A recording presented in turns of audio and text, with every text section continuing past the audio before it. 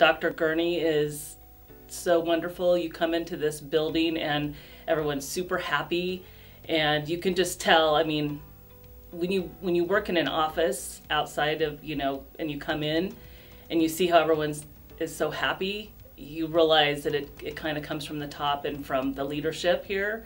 And um, I feel like it comes from Dr. Gurney. I don't know the other doctor, but for sure Dr. Gurney. And the nurses are super professional and friendly and nice and caring and they really care. I mean, the whole office, Dr. Gurney, it's all about your health and um, that does not happen in other offices.